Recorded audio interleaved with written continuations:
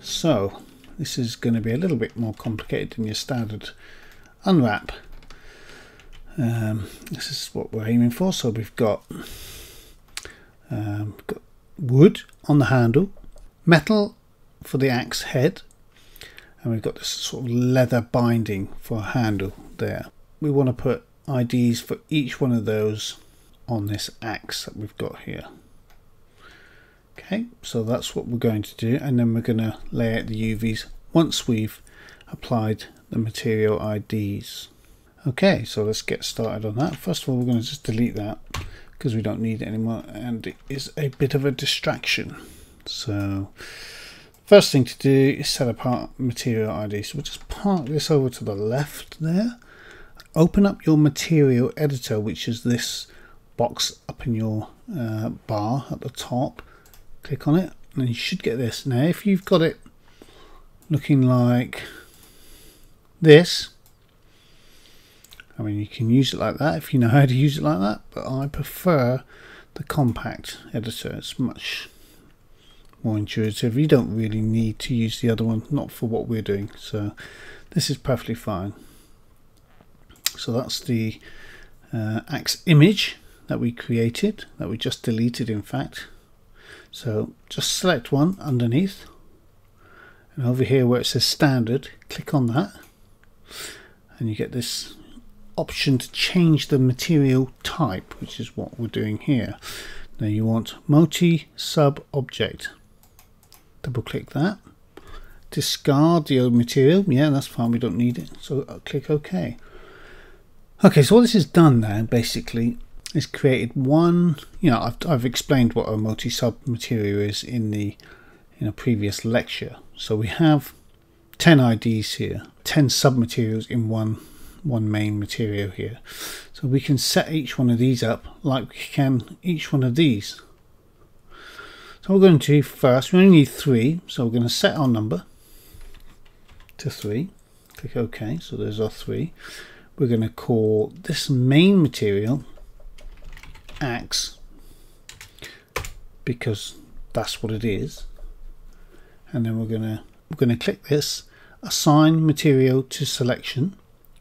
Obviously our axe, is selected so just click assign like that. It should go black or whatever color we've got it all set to. Okay so now we're going to go through these. The first one we're going to do is the handle. So click that. I'm going to select standard double click that. Click on the diffuse here. I'm going to change its color because it's wood. Just make it a brown color. I mean all we're doing here is just setting some colors up so we can see.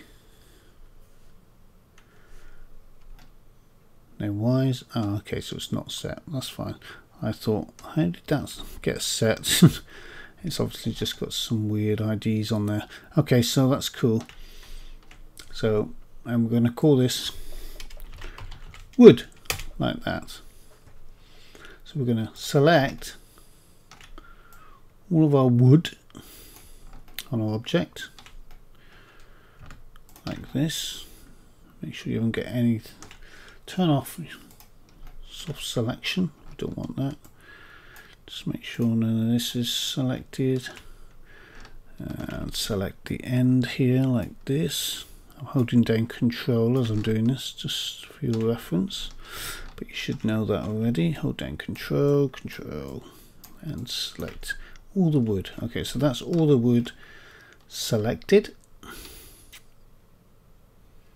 Yep and then we're just going to click this button here assign material to selection. Dink. okay now just uh, this is you can see what material ID we have by this little number here on the left hand side. Just scroll this down. Scroll your window up I should say. Keep saying down but, we are going down the menu. Anyway in which says set ID put a number one just press return just to be sure that we've got the, the uh, faces that are selected are set to set ID number one Okay, that's cool. Now we're going to click on this little drop down here, go back to axe, On the second one, click that. Again, click standard. Select diffuse again. And the metal will just make a light sort of blue-ish color just so we know what it is. Click OK. And we're going to call this metal like that. And we're to we're to invert this. We're to go to up here, go to edit, select invert, and you, your selection sh should invert just like that. So you have all the metals selected and none of the wood. And now just um, uh, click assign to selection like that. Just go down, make sure actually that that's just just put number two in set ID like that, and it will set it. I'm not even sure if that's working quite right because it's a uh, multi-sub object. So I'll just do that set ID number two. Uh, if we deselect, you'll see now that we have our wood. If we go back, select axe, so we have wood and metal, two colours, and you can clearly see which is what there.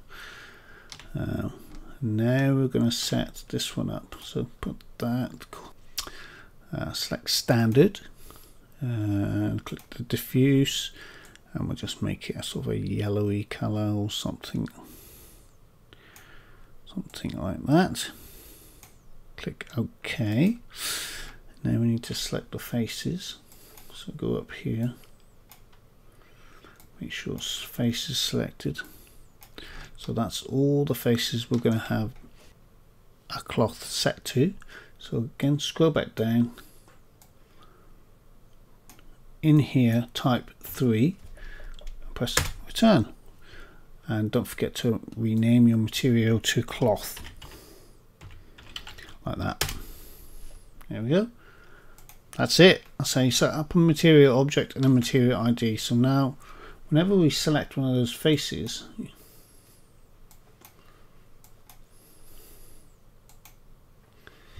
you know, the ID will be set.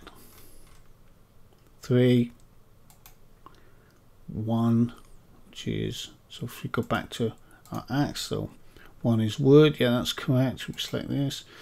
So it's two, two is metal, yeah, one of these, three, three is cloth, so you can see how it works.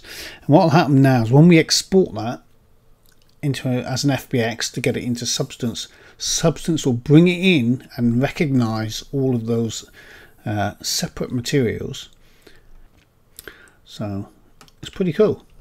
Okay, with that done, just close that down.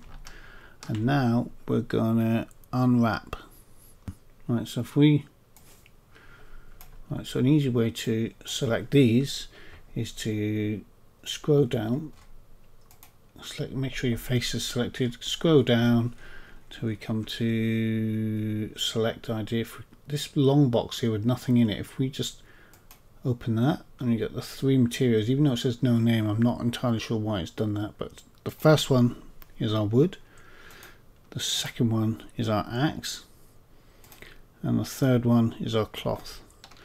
So we can um, we can unwrap these. UV map. Unwrap.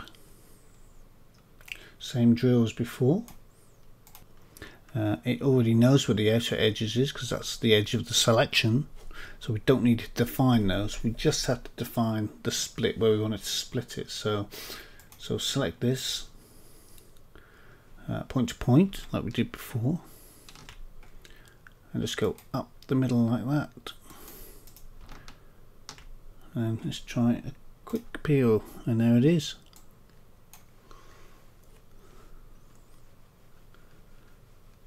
uh, we can just make that whole thing fit in one see this bit of texture here is probably going to be quite small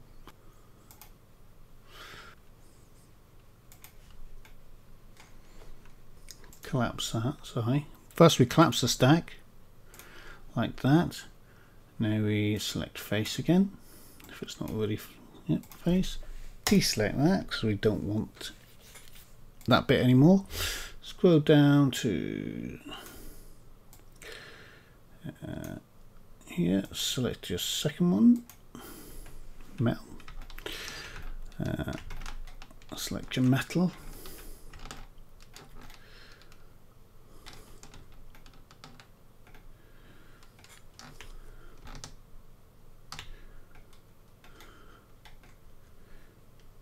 Um, UV map. Unwrap. Again, you'll see that it knows where the edges are around here. All the way around, so it knows where those edges are and where that is. So what we have to do is just define the extra edges that we want. I think just splitting it right in half should be enough. So if we do this point to point, like this, split it down there, like that and we split it all the way down here. Not missed. Make sure you get the edge. That's it. And we take this all the way along this sharp edge here. Like this. All the way up to here, up to there, all the way around, uh, there to there. Okay, that should be enough, although this looks like it might need to be separated, this section in here, so we might have to come out and go around. Okay, we'll just see how that works. Quick peel. Huh. Okay, let's just have a look what that looks like. Uh,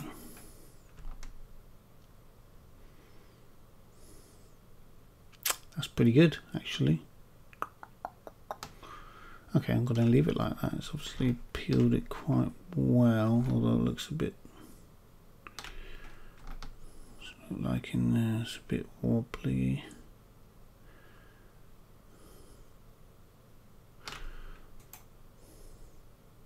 just turn shadows off so I can see. There you go. Yeah, it's not quite, it's not good in there, is it?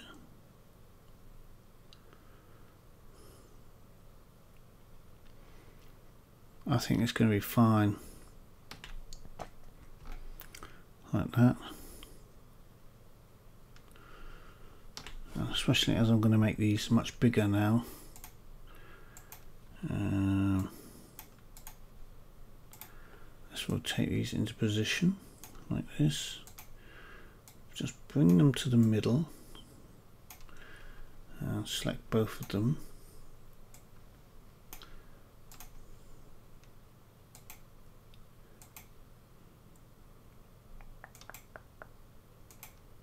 Let's make that one.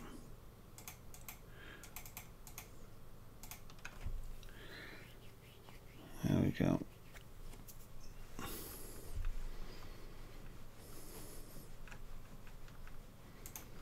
You know, it's not very efficient this. I think what we might do, I'm just showing you how to do this. And I think what we might do is come back and redo it and merge all the UVs into one page so we can make it much more efficient. I just want to show you how to set up multi sub object. I think we're going to do it for the uh, for the hut for sure. Um, but we can get away with this one not being uh, not being a multi uh, multi sub object. So look at this texture resolution of that compared to that. Something's not quite right. That's way too big. So we should go back into there. In fact, let's just do the handle and get them all done and then we can change whatever we want to change afterwards. Um, so I select face scroll down to three.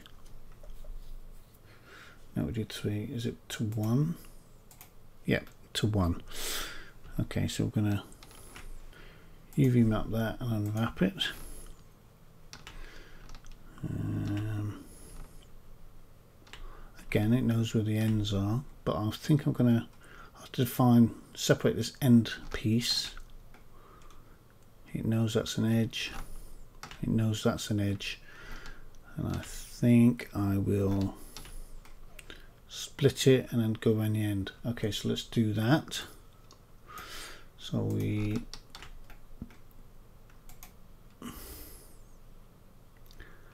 come to the edge and go round like this. There we go.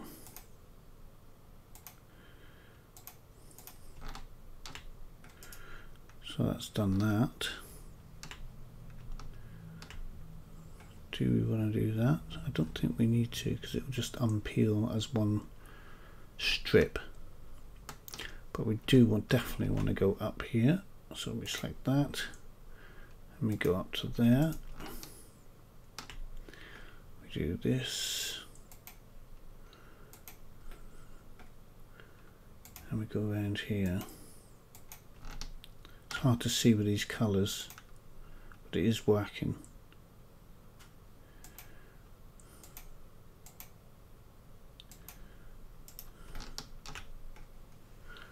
You can sort of uh, just see the colours there.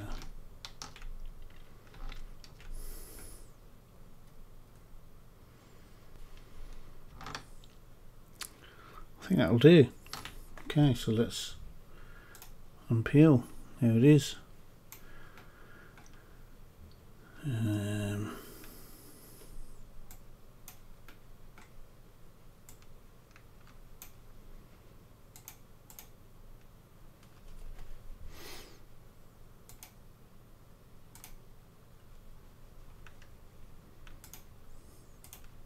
organize your, your pieces so they get much more efficient packing of them because that's not that great. So two ends. Select it all again. Pack. Yeah, that's the best you're going to get, I think, for now.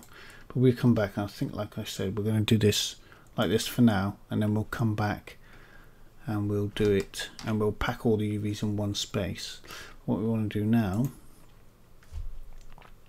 is just take a look at them and see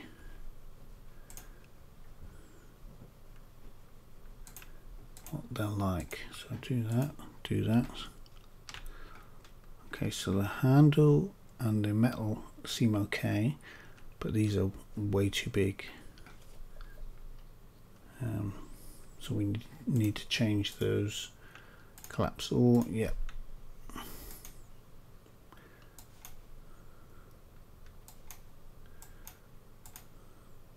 just select these, just unwrap.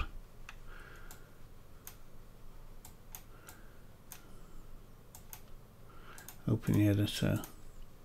Yeah, massive, you see, compared to what these were. Okay, so these took up a lot more space in the UV space than this little piece here so we need to make this smaller. So this is exactly why it's such a waste. So think just for now we're going to make it correct because when we come back and we reorganize and we know that all scaled correctly